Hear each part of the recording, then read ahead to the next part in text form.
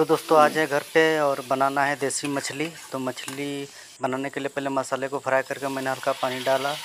इसके बाद देखिए, फ्राई मछली है।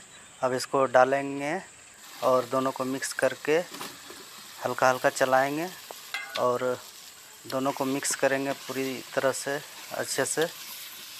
और मसाला के साथ ये देखिए, मसाला मछली तैयार है।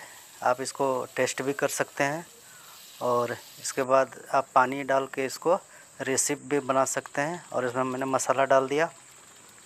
मसाला डालने के बाद अच्छे से मिक्स करके आपका देखिए, ये टेस्टी टेस्टी मछली तैयार है।